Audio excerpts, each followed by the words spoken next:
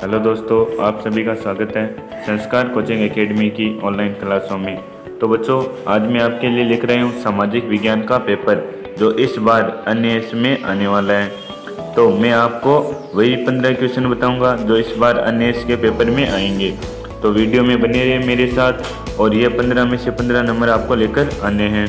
तो पहला क्वेश्चन आपका, मिताली एक मानचित्र में अपने शहर होशंगाबाद को खोजना चाहती है। इसके लिए उसे उस स्थान के संबंध में क्या जानना चाहिए?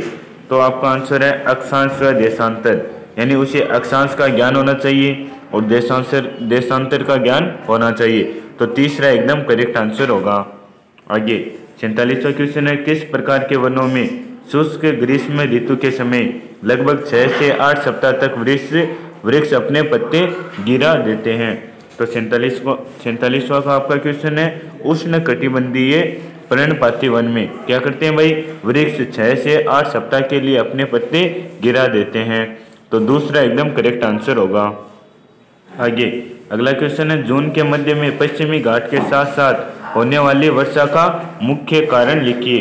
तो इसका मुख्य कारण होगा स्थानीय पवने मुख्य कारण क्या होगा भाई? स्थानीय पवने होगा। तो चौथा एकदम करेक्ट आंसर होगा। आगे।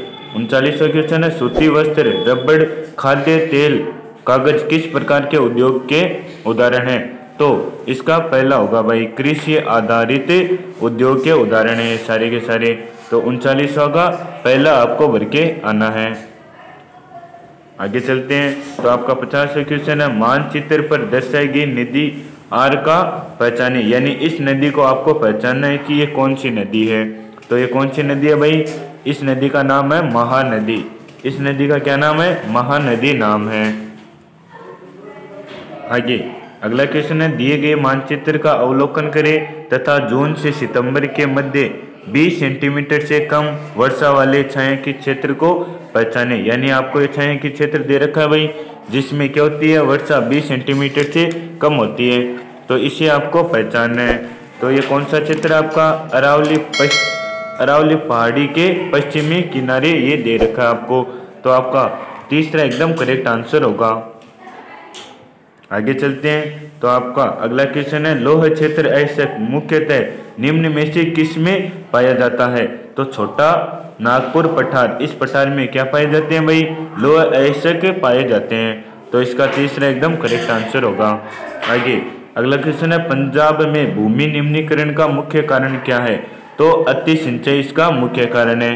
चौथा चौथा आंसर एकदम सही आंसर होगा।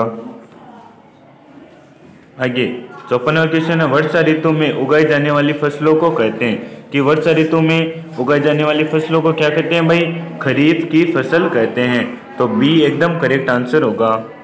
आगे, अगला क्वेश्चन है, उस प्रदेश को पहचाने जहाँ पर भूमि संरक्षण के लिए सीढ़ी नुमा कृषि की जाती है। तो इसका चौथा एकदम करेक्ट आंसर होगा। चौथा क्या भाई? पहाड़िया। पहाड़ियों पर क्या होती है? सीढ़ी नुमा कृषि होती है। आगे, छप्पनवा क्वेश्चन है, निम्नलिखित में से कौन से राज्य व केंद्र शासित प्रदेश शीत ऋतु में पश्चिम विक्षोभ के कारण वर्षा प्राप्त करता है? तो आपका छप्पनवे का आंसर होगा। चौथा, तमिलनाडु है, पुडुचेरी। तो ये दो, एक तो भाई केंद्र शासित प्रदेश है और दूसरा राज्य है, जो क्या करते हैं? पश्चिमी विक्षोभ के कारण वर्षा प्राप्त करते हैं। आगे, अगला क्वेश्चन आपका, फलीदार फ़सलों का उदाहरण है। आपको फलीदार फ़सलों का उदाहरण बताना है। तो जो आपके दालें होती हैं, वो कैसी फ़सलें होती हैं भाई? फलीदार फ़सलें होती है। तो पहला एकदम करेक्ट आंसर होगा। आगे, अगला क्वेश्चन आपका, केरल और कर्नाटक में पूर्व मानसून वर्षण को किस नाम से जाना जाता है? तो किस नाम से जाना जाता है? आम्र वर्षा नाम से जाना जाता है। तो आपका तीसरा एकदम करेक्ट आंसर होगा। अगला क्वेश्चन है आपका कि सूर्य भारत में समुद्र तल से चौदह मीटर की ऊंचाई पर स्थित एक स्थान पर रहता है। उस स्थान को पहचाने जहाँ पर वह रहता है, यानी इस ऊंचाई पर होने वाले शहर को आपको पहचानना है। तो इसका आंसर है आपका सी विशाखापट्टनम। विशाखापट्टनम एकदम करेक्ट आंसर है, क्योंकि विशाखापट्टनम की ऊंचाई समुद्र तल से चौदह मीटर होती है। तो आपका तीसरा एकदम करेक्ट आंसर होगा।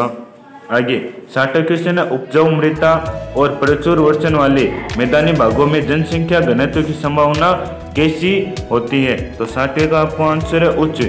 तो जहाँ पर भाई उपजाऊ मृदा होगी और मैदानी बाग होगी, वहाँ पर जनसंख्या क्या होगी? उच्च जनसंख्या होगी। तो पहला एकदम करेक्ट आंसर होगा। तो दोस्तों, आज मैंने आपको ये सामाजिक विज्ञान के पंद्रह क्वेश्चन बताए मैं आशा करता हूँ इस बार आप पंद्रह में से पंद्रह नंबर लेकर आओगे। यदि वीडियो अच्छा लगा हो तो प्लीज़ अपने दोस्तों तक शेयर ज़रूर करना।